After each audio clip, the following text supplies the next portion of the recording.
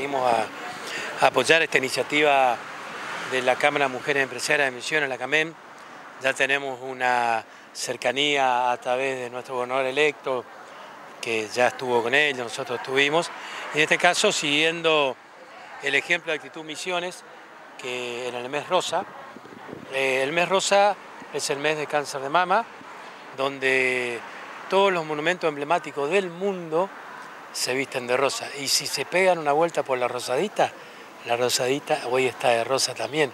A esta hora, si quieren ver, nuestra casa rosada de Misiones también está. Y es un, un mes de, de prevención y concientización del cáncer de mama. El cáncer de mama, que ha sido mi subespecialidad durante tantos años, este, se cura. Lo importante es que la mujer, eh, al escuchar esto, al ver esto, pierda el miedo y vaya se haga el estudio. Porque muchas veces el estudio paraliza por dos cosas.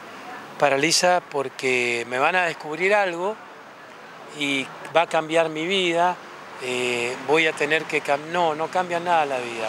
A veces son dos meses de tratamiento, a veces cuatro meses de tratamiento, a veces seis meses de tratamiento y después de eso vuelve a su vida normal.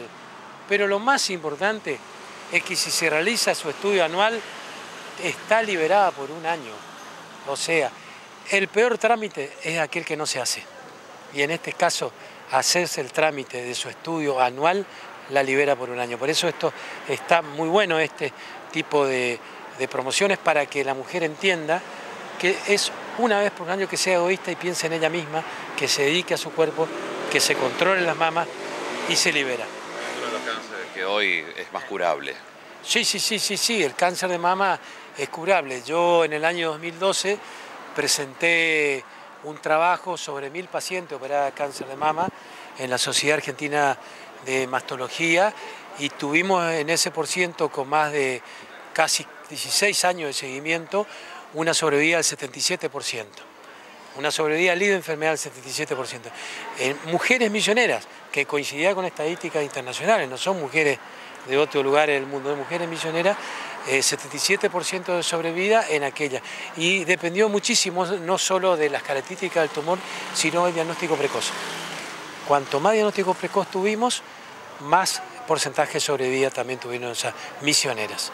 Bueno, vinimos a un lugar representativo que son parte y fundamental de lo que tiene que ver con la organización de este mes rosa en la prevención del cáncer de mama y nos convocaron aquí junto al, vicegobernador electo para poder dar una capacitación, mostrar cuáles son las políticas de Estado, mostrar un poquitito qué, es lo que se hace en el mundo. Misiones está eh, hoy eh, representando una, vanguardia nacional en este sentido y, y, mostrar a las mujeres cuál es la accesibilidad, cuáles son los estudios complementarios y cuál puede ser su participación.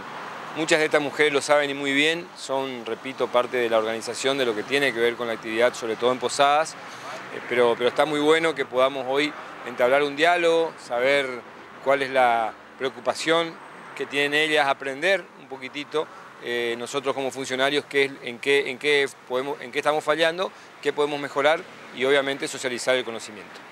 ¿Tomaron conciencia de la prevención las mujeres en los últimos años respecto al cáncer de mama, la importancia de hacer, hacerse hasta autocontrol? Sí, yo creo que sí. Eh, venimos incrementando lo que tiene que ver con, con, la inversión en infraestructura y sobre todo en equipamiento para este tipo de patologías en la provincia. Esta es la provincia la primera que ha tenido la tecnología Mamotés en un hospital público absolutamente gratuita y no solamente eso, lo hemos replicado eh, aquí en Posadas y lo hemos replicado en el interior de la provincia, en Oberá, en Iguazú y en El Dorado, pudiendo así eh, descomprimir un poquitito todo lo que tiene que ver con el acceso a, este control. Pero además de eso se han hecho muchas capacitaciones en el ámbito de la docencia, en el ámbito del Ministerio de Educación, hemos avanzado con con, la gente, con los docentes, que son quienes replican muchas veces nuestro conocimiento científico que tiene salud. Y, hemos podido lograr así una gran cantidad de diagnósticos precoces, no solamente en el ámbito público, sino también en el ámbito privado. Este, junto con el cáncer de colon y el cáncer de cuello de útero, son este, tumores que diagnosticados a tiempo tienen curación, una alta tasa de curación, y por eso los métodos de screening como este son eh, muy, muy importantes. Este año se aprobó una ley de reconstrucción mamaria, doctor. ¿Cómo están con eso?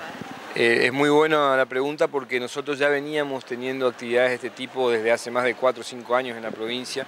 Teníamos el equipo conformado, se había hecho hincapié en la parte incluso privada cuando el mismo doctor Arce tenía ese tipo de cirugías ya con la reconstrucción posterior a la, mutilación, porque en realidad eh, para la mujer es una mutilación y es muy justo eh, tener la oportunidad después de tener la, la, reconstrucción y poder seguir una vida lo más normal posible.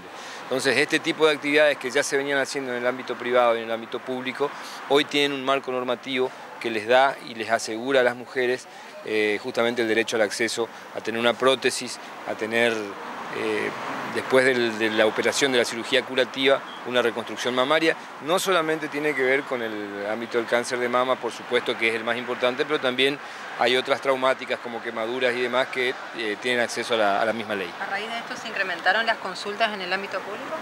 No tengo la notificación real hoy de, cómo está el, sector de, de reconstrucción mamaria, pero el médico mismo en general cuando hace la planificación ya ofrece, porque se trabaja de forma eh, multi e interdisciplinaria, eh, hay un equipo de cirugía reconstructiva que trabaja en conjunto con los mastólogos y los oncólogos a la hora de planificar justamente la, curación por un lado y obviamente la reconstrucción por otro.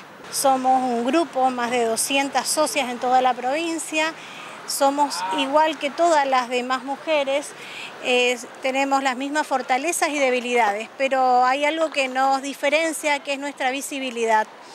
Y eso es lo que hoy vamos a comprometernos en todo este mes y por supuesto seguimos comprometidas en el año para eh, ayudar a la concientización para la prevención del cáncer de mamas. Sí, es la ignorancia y el miedo. Si superamos la ignorancia y el miedo ganamos tiempo. Y esto, esta es una enfermedad que con el tiempo ganando ignorancia, miedo, superando ignorancia, miedo y conseguimos tiempo, tenemos más del 50% ganada.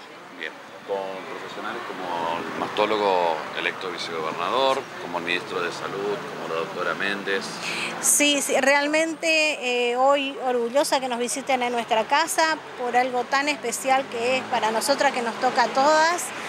Eh, sabemos, todas las mujeres de CAMEM, que al levantarnos pensamos en nuestra salud. Si tenemos salud, si tenemos este equilibrio emocional y fuerza de la familia, nuestro trabajo va a ser un éxito total. hay muchísimas actividades, esta es una muy especial a través de la CAMEM, que son mujeres que han empujado mucho a la provincia en estos últimos años y ahora colaborando también con la difusión de, la, de una enfermedad tan prevalente en la mujer, hablamos del cáncer de mama, donde ellas a través de sus nodos, ya de sus 200 afiliadas que tienen acá en la, ciudad de Posadas, a su vez en el interior se replica esto que es lo que nosotros buscamos en este mes eh, mundial de concientización eh, contra el cáncer de mama.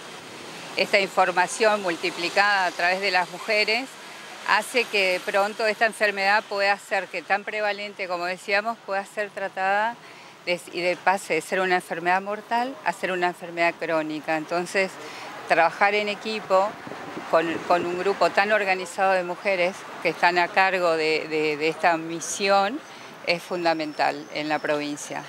¿Está llegando esta campaña de el autocontrol, tocate para poder detectar? Claro, eso es una, el autoconocimiento de la mama es fundamental saber en qué etapas del ciclo, cómo son mis mamas eh, durante cada etapa de la mujer, en la etapa de la adolescencia, en la etapa de la mediana edad.